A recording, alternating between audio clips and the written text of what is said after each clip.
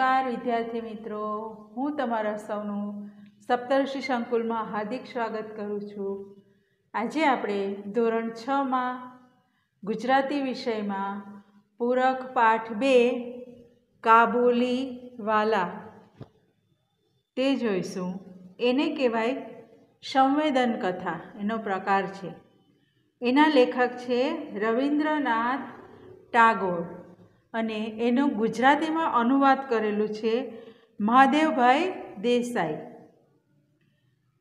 તો કાબુલી એક કાબુલથી આવેલો માણસ હોય તેના વિશેની વાર્તા છે. તેને પણ અહીંયા જે મિની છે નાની, એના જેવી જ એક છોકરી હોય, એ સાસરે ગયેલી છે.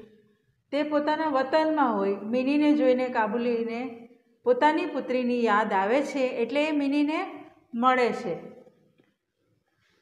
તો રવિન્દ્રનાથ ટાગોર, તેનો જન્મ છે અઢારસો એકસઠ અને અવસાન છે ઓગણીસો એકતાલીસ. રવિન્દ્રનાથ ટાગોરનો જન્મ કોલકાતામાં થયો હતો. એમના પિતાનું નામ દેવેન્દ્રનાથ અને માતાનું નામ શારદા દેવી કાબુલીવાલા પોસ્ટમાસ્ટર એ એમની જાણીતી વાર્તાઓ છે. આપણા રાષ્ટ્રગીત જનગણ મનની રચના પણ તેમણે કરી છે. ગુરુદેવ ટાગોરને સાહિત્યનું નોબેલ પારિતોષિક પ્રાપ્ત થયું હતું. અનુવાદ મહાદેવભાઈ દેસાઈ, જન્મ એક એક અઢારસો બાણું અને અવસાન પંદર આઠ ઓગણીસો બેતાલીસ. મહાદેવભાઈ હરિભાઈ દેસાઈનો જન્મ સુરત જિલ્લાના સરસ ગામમાં થયો હતો. તેઓ ગાંધીજીના જમણા હાથ સમાન હતા. અંત્યજ સાધુનંદ ઇબ્રાહિમ ચાચા, સંત ફ્રાન્સિસ એ તેમની નોંધપાત્ર કૃતિઓ છે. રવિન્દ્રનાથ ટાગોરે બંગાળી ભાષામાં લખેલી વાર્તા કાબુલીવાલાનો મહાદેવભાઈ દેસાઈએ ગુજરાતીમાં અનુવાદ કર્યો છે તે અહીં આપ્યો છે. વતનથી દૂર રહીને સૂકો મેવો વેચતા કાબુલીને મિનીમાં પોતાની દીકરી દેખાય છે.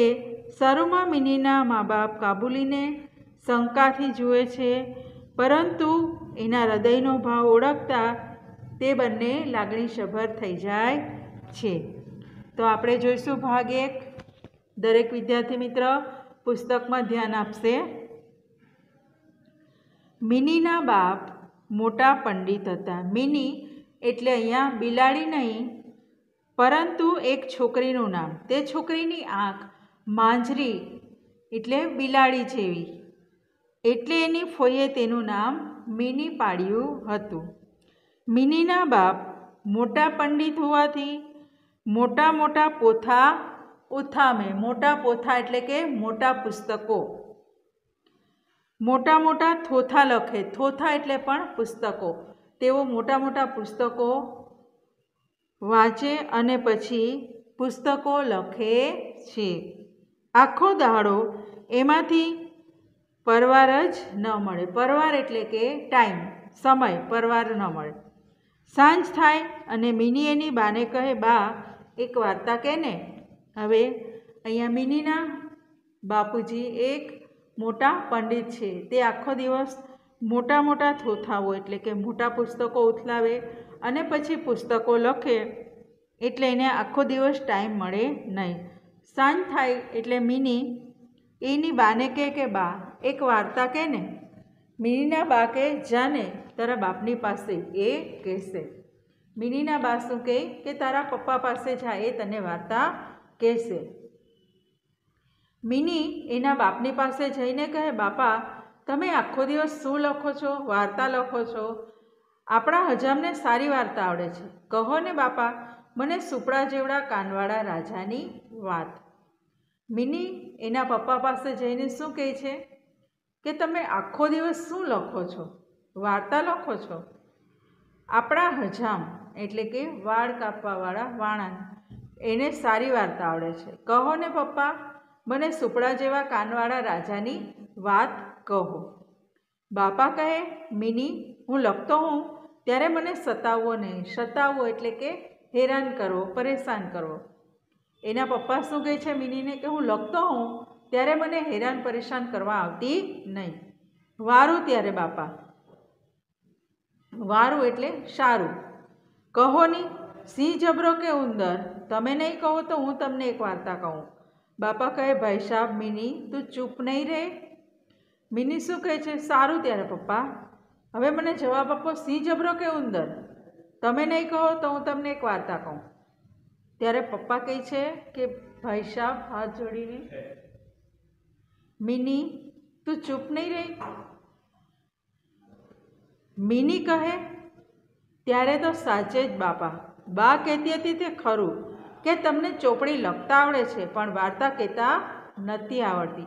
ત્યારે મિનીના મમ્મી શું કહે છે કે, તારા પપ્પાને ખાલી વાર્તા લખતા આવડે છે, કહેતા આવડતી નથી. ઓરડામાંથી મિનીની બા આ મજેદાર સંવાદ સાંભળતી હતી. તે હસતા હસતા કહે, લો, લેતા જાઓ. પંડિત કહેવાઓ છો, પણ તમારી કિંમત તમારી દીકરી આગળ કેટલી છે? ઓરડામાંથી મિનીની બા, એટલે કે એની મમ્મી આ જે બાપ દીકરી વચ્ચે વાતચીત થતી હતી તે સાંભળે છે અને એ હસે છે. હસતા હસતા શું કહે છે કે લે, લેતા જાઓ. તમે મોટા પંડિત કહેવાઓ છો ને? આખો દિવસ લખો છો. પણ તમારી દીકરીએ તમારી કિંમત કેટલી છે તે કહી દીધી. એટલે તમારી છોકરીએ કહી દીધું કે તમે આખો દિવસ લખો છો પણ કહેતા આવડતું નથી. તમારી કિંમત કરી દીધી. મિની તુરંત બાપાને પૂછે, બાપા, બાની કિંમત કેટલી? પેલો કાબુલી આવે છે, તે કહે છે, સાલ કી કિંમત વીસ રૂપિયા, બાદામ કી કિંમત એક રૂપિયા. હવે મિનીના મમ્મીએ શું કીધું? કે તમારી કિંમત તમારી દીકરી આગળ કેટલી છે, તે કહી દીધું. તો મિની તુરત એના પપ્પાને પૂછે છે કે, બાપા, આ બાની કિંમત કેટલી છે? પેલો કાબુલી આવે છે, તે કહે છે, કાબુલી એટલે કે સૂકો મેવો અને એવો વેચવાવાળો જે માણસ આવે છે ને કાબુલથી તે તે કહે કે શાલની કિંમત વીસ રૂપિયા અને બદામની કિંમત એક રૂપિયા. તો આ બાની કિંમત કેટલી છે? બીજું જોઈશ, બીજો ભાગ.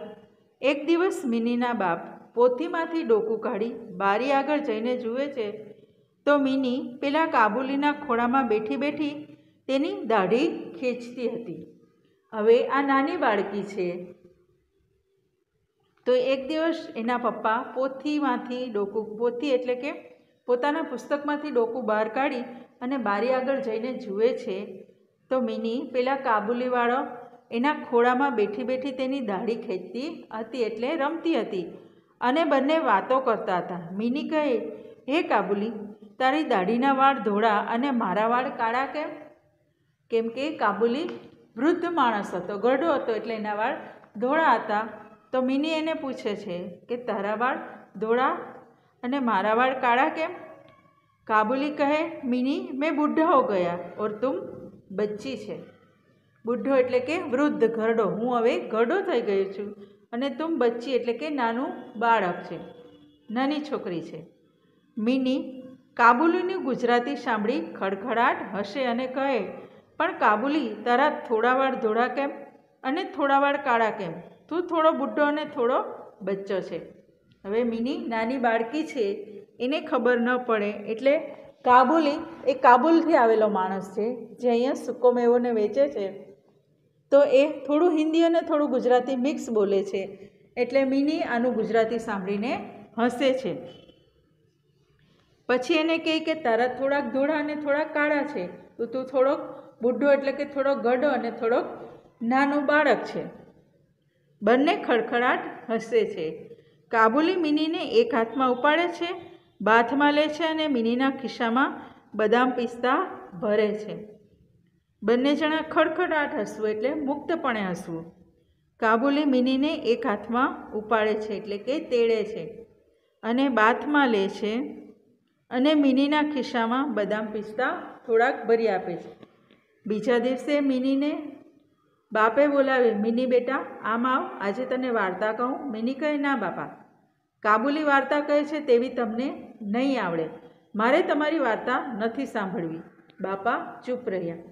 બીજા દિવસે, આગલે દિવસે મિનીના બાપે જે દ્રશ્ય જોયેલું બારીમાંથી, એટલે બીજા દિવસે મિનીને એના પપ્પા બોલાવે છે કે, બેટા અહીંયા આવતો હું તને એક વાર્તા કહું. ત્યારે મિની શું કહે છે? ના, તમને કાબુલી વાર્તા કે એવી આવડે નહીં. એટલે મારે તમારે વાર્તા નથી સાંભળવી. વળી એક દિવસ કાબુલી આવ્યો હતો અને મિનીને કાબુલી વાતો કરતા હતા. હવે કાબુલીને ગુજરાતી આવડી ગયું હતું. મિની કાબુલીને પૂછે છે, કાબુલી કાબુલી, તારા દેશમાં માણસ ઊંટ જેવા હોય છે? કાબુલી કહે, ના ના, મારા દેશમાં બચ્ચા બિલ્લી જેવા હોય છે. વળી એક દિવસ કાબુલી આવે છે અને મિની અને કાબુલી વાતો કરતા હોય છે. કાબુલીને હવે ગુજરાતી બોલતા આવડી ગયું હતું. મિની શું પૂછે છે? કાબુલી, તારા દેશમાં માણસ ઊંટ જેવા હોય છે? કેમ? કેમ કે કાબુલી પોતાના ખાંધે એટલે કે ખભે કોથળા ઉપાડીને ફરતો હોય છે. જેવી રીતે ઊંટના ખાંધે કોથળા હોય એટલે મિની બાળક સહેજ આ રીતે પૂછે છે કે તારા દેશમાં માણસ ઊંટ જેવા છે? કાબુલી કહે, ના ના મારા દેશમાં બચ્ચા બિલ્લી જેવા હોય છે. બચ્ચા એટલે કે નાના બાળકો બિલાડી એટલે કે મીંદડી જેવા હોય છે. કાબુલી હસે અને પૂછે, મિની, તને કોણે કહ્યું કે અમારા દેશમાં માણસ ઊંટ જેવા હોય છે? મિની કહે, કાલે અમારા ઘર આગળથી ઊંટ જતું હતું. તેની બંને બાજુ કોથળા હતા. તેવા જ કોથળા તારી ખાંધે છે. કાબુલી આ સાંભળી હસી પડ્યો. અને મિનીને કહે, અમારા દેશમાં તો માણસો ઊંટને ખાંધે લઈને ચાલે એવા હોય છે. હવે કાબુલી હસે છે ને કહે છે કે, મિની, તને કોણે કીધું કે અમારા દેશમાં માણસો ઊંટ જેવા હોય છે? ત્યારે મિની શું ઉત્તર આપે છે કે, મારા ઘર આગળથી કાલે એક ઊંટ પસાર થયેલું. તેના બંને બાજુ કોથળા લાદેલા હતા કે જેવા કોથળા કાબુલી લાદેલા હોય એને બાજુ કાબુલી આ સાંભળીને શું કરે છે? હસી પડે છે. મિનીને કે અમારા દેશમાં તો માણસો ઊંટને ખાંધે લઈને ચાલે તેવા હોય છે. એટલે મજબૂત માણસો હોય છે, પઠાણ લોકો કાબુલના, કે જે ખૂબ ઊંચા હોય છે. એટલે એ લોકો મજબૂત બાંધાના હોય, તેથી ઊંટને પણ લઈ શકે એટલા તાકાતવાળા. ઊંટ તો લઈ ન શકે, પણ એનો અર્થ થાય છે, એટલી તાકાતવાળા હોય છે. વળી મિની ખડખડાટ હસે છે અને કાબુલીની દાઢી ખેંચે. કાબુલીએ મિનીને સાથે ગમત કરે. મિનીને પૂછે, મિની, તું સાસરે ક્યારે જઈશ? મિનીને કાબુલીવાળા પાસેથી વાર્તા સાંભળવા મળે. એટલે કે એક બાપનો પ્રેમ હોય તેને અહીંયાથી મળે છે. તો એ કાબુલીની દાઢી ખેંચે એની સાથે રમે છે અને કાબુલીને પણ એની સાથે રમવાની મજા આવે છે. મિનીને કાબુલીવાળા પૂછે છે કે તું હવે સાસરે ક્યારે જઈશ? એક છોકરી મોટી થાય પછી પરણીને એને વિદાય આપવામાં આવે છે, એના સાસરે જાય છે, એટલે તું ક્યારે જઈશ એમ? મિનીના મનમાં કે સાસરું નામનું કોઈ ગામ હશે? એટલે મુની પૂછે, મિની પૂછે, હે કાબુલી, સાસરામાં તારા દેશની જેમ દ્રાક્ષણાવેલા હોય ખરા?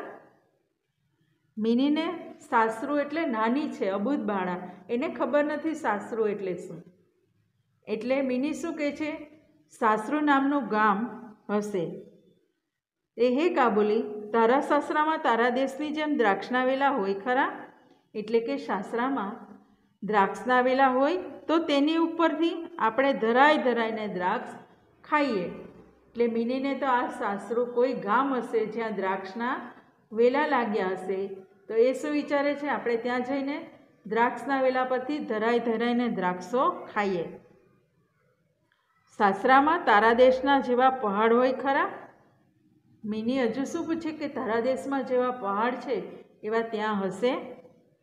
તો તેની ઉપર બરફ જેવું ઠંડુ પાણી ખડ ખડ વહી જતું હોય ને આપણે ધરાઈ ધરાઈને પીએ. મિનીને સાસરાનો અર્થ ખબર નથી. એટલે એ બધી વાત પૂછે છે કે ત્યાં તારા જે દેશ જેવા પહાડ છે, એ પહાડ પરથી જે ઝરણા વહીને આવે ને ખડ ખડ ખડ અવાજ આવે ને મીઠું પાણી વેય. આપણે ધરાઈ ધરાઈને પીએ, એવું પાણી પણ ત્યાં છે? એમ પૂછે છે. તો વિદ્યાર્થી મિત્રો, આપણે અહીંયા પૂર્ણ કરીશું. કાલે બીજા પિરિયડમાં આપણે ફરીથી જોઈશું. ત્યાં સુધી અસ્તુ. જય હિન્દ, જય ભારત.